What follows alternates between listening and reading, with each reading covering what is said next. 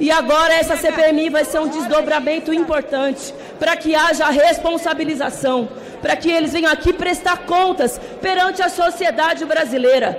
Tentaram passar por cima da vontade popular, depredaram os palácios de poderes, não conseguiram dar um golpe de Estado e agora vão precisar responder pelo seu golpismo. Soube que tem um deputado que quer fazer parte da comissão sendo que é um deputado que já foi chamado, inclusive, está indiciado no inquérito do Alexandre de Moraes.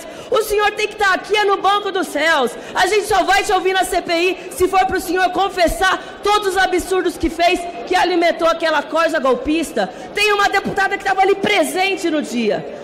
Vai ter CPI, doa quem doer e que todos os golpistas sejam responsabilizados, sejam civis, militares, empresários ou políticos. Contem com o nosso esforço nesse sentido.